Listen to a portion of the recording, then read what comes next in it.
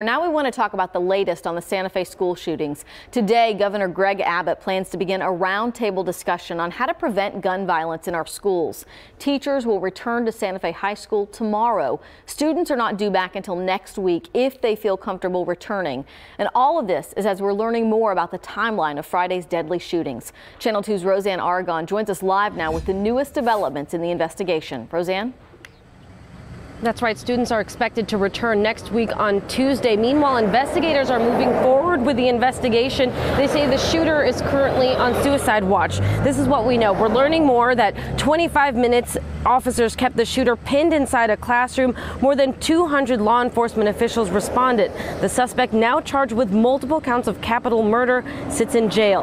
Meanwhile, one student, Isabel Lamant, says she and eight others hid in a classroom's art supply closet hearing gunshots. The officer who first contained the shooter, Officer John Barnes, remains in the ICU after multiple surgeries.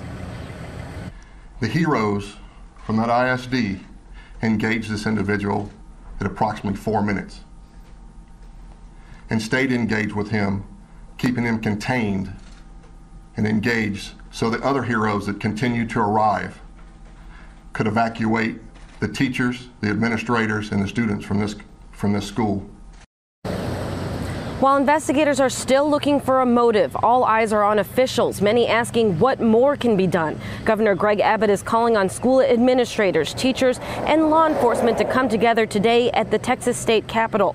It is the first of three roundtable discussions this week to talk about prevention and best practices regarding school safety and security. The staff will return tomorrow, the students again next week. Those students will have extra security and counseling resources available.